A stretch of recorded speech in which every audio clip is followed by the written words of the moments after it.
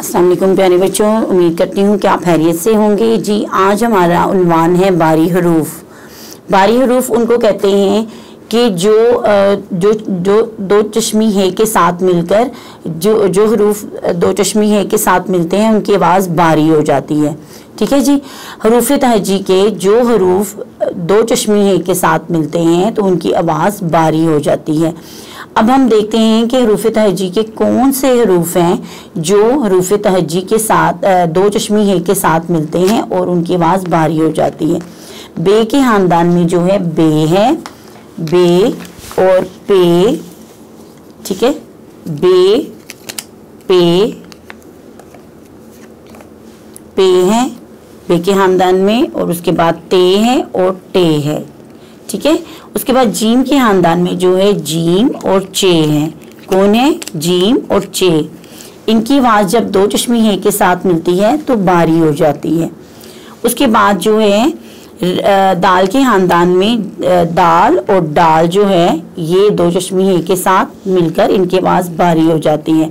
और रे के खानदान में जो है, वो रे है और रे है। रे और रे की आवाज़ जब मिलती है तो वो बारी हो जाती है। जी, हम यहाँ पे ढूंढते हैं कि रे जो है, वो किधर है? जी, रे के बाद रे है। उसके बाद इसमें आ जाता है काफ और गाफ। क्या आ जाता है? काफ और गाफ की आवाज़ जब दो चश्मी एक के साथ मिलती है तो बारी हो जाती है। उसके बाद आता है नून।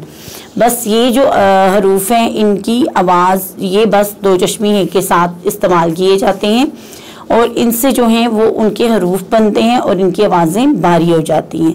ठीक है जी, बे, पे, बे के खानदान में बे, पे, ते, टे हैं और जीम के खानदान में जीम चे, दाल के खानदान में दाल डाल और रे के खानदान में रेड़े और काफ गाफ और नून। जी बच्चों, अब हम आपको बताते हैं कि कैसे इनकी आवाज़ भारी हो जाती है, यानी जब बे को हे के साथ पढ़ा जाता है, ये देखे तो बे और दो चश्मी है मिलकर, क्या बन गए हैं? बे बे, यानी ब ब आवाज़ इसकी बारी होगी भेड़, ये देखिए अब हमने बे और हे के साथ अल्फाज बनाया तो क्या बन गया? भेड़ भेड़, ब, बालू, ब, भेड़ ब बालू, ब बेड़ ब बालू।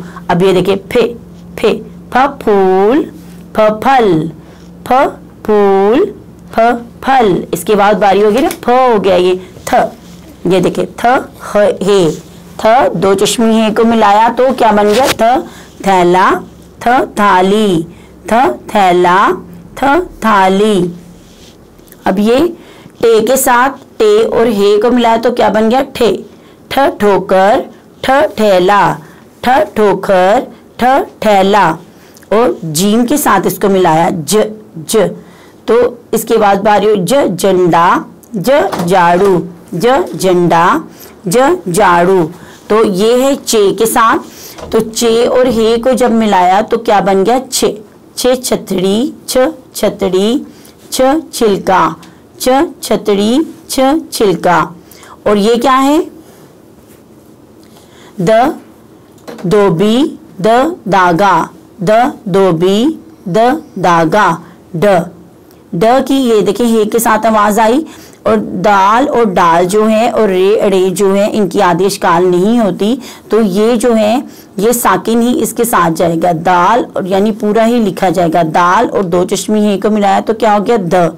द द दागा, द दोबी द दागा, ड ड, और ह को मिलाया तो क्या बन गया? ढाल डाल। ये ढाल है और ये ढक्कन। डाल, ढक्कन। र र, ये शुरू की आवाज़ में नहीं आएगा, ये बीच की आवाज़ में आएगा। ये देखिए बारवा। हे, रे और हे को मिलाया तो बारवा।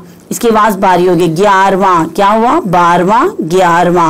और ये र ये भी बीच की आवाज़ है। ये देखिए, रेड़ी रेड़ी, सीढ़ी। रेड़ी के बीच की आवाज़ में ये आया है और सीढ़ी की भी बीच की आवाज़ में ये आया है। जी बच्चों, सफ़ा नंबर 48 पर हमने आपको ब तो ज तक आपको पढ़ाई कराई है, बारी हरूफ की। ठीक है जी? ब से हमने आपको बताया था बेड़ ब बालू, फ फूल, फ फल, थ थैला, थ थाली, ठ ठोकर, ठ ठैला, ज झंडा, ज झाड़ू। ये हमने आपको 48 पर पढ़ाई करवाई है और बताया कि कौन से हरूफ जो हैं, वो दो चश्मी है के साथ मिलकर उनकी आवाज़ भारी हो जाती है। ओके बच्चों, उम्मीद करती हूँ आपको समझ आ गई होगी। अल्लाह हाफिज। वीडियो पसंद आई तो लाइक करें, अपनी राय कमेंट करें। ऐसे ही मजीद वीडियोस के लिए हमारा चैनल सब्सक्राइब करें और बेल का आइकन दबाएँ ताकि आपको हर वीडियो का नोटिफिकेशन मिलता रहे।